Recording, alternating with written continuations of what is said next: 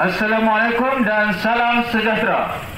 Seperti semua sedia maklum, kerajaan telah memutuskan pelaksanaan Perintah Kawalan Pergerakan Pemulihan PKPP bermula dari 13 Januari hingga 26 Januari 2021 di dua buah negeri iaitu Perlis dan Sarawak.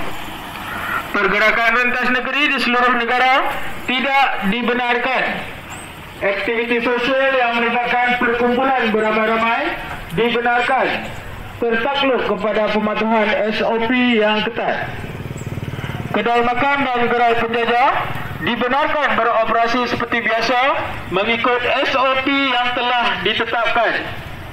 Amalkan penjarakan fizikal sekurang-kurangnya 1 meter dan elakkan 3S iaitu kawasan sesak, sempit dan sembang secara dekat.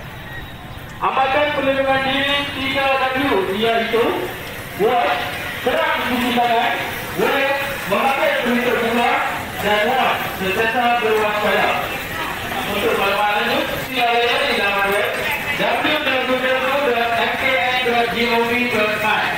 Terus terkejut berdasarkan lomba baru bersama-sama kita betulkan rangkaian COVID-19. Kita mesti menang.